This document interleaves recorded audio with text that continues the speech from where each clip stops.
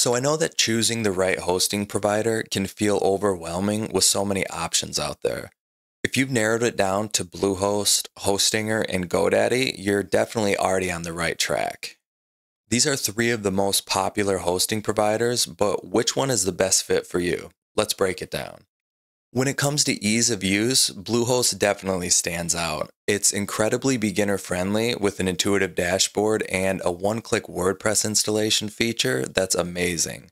Hostinger, on the other hand, is a solid choice for those who are on a budget. It offers some of the most competitive pricing in the industry while still providing reliable performance. And GoDaddy sits somewhere in between with a balance of ease of use and affordability, but it's often geared more towards small business owners who might also need domain registration and additional services. Pricing is always a big factor. Hostinger is the most budget friendly, with the plan starting as low as 199 per month for shared hosting. Bluehost Basic plan starts at 295 per month, which is a great deal considering the free domain name and SSL certificate included in for the first year. GoDaddy starts at $5.99 per month for its shared hosting, and while the pricing isn't the cheapest, it's reasonable considering the added features like email hosting and marketing tools. Performance is another crucial factor. Bluehost offers a 99.9% uptime guarantee and has consistent speeds, making it a really reliable choice.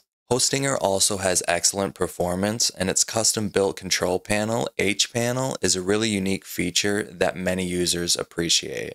GoDaddy is reliable, but sometimes can lag in performance compared to the other two, especially on its lower tier plans. And now, customer support can make or break your experience with the hosting provider, and Bluehost shines with their 24 7 support via phone, live chat, and email, and their agents are well trained to handle both beginner and advanced questions. Hostinger also offers 24 7 live chat, though some users find the response time slightly slower. GoDaddy provides phone and chat support, but it's not as consistent, and some users actually report longer wait times. So, which one should you choose? This is what I would say. If you're new to building a website and you want a user friendly, all in one solution, I'd say Bluehost is a fantastic choice. You can get your hosting for just $1.99 for the first year instead of the intro rate of $2.95 per month.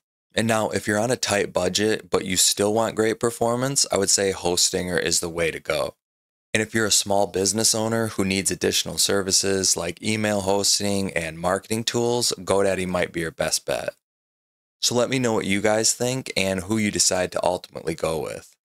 You'll also find hosting discount coupons for Hostinger and GoDaddy on my website's coupon page that will also be found in the link in the description.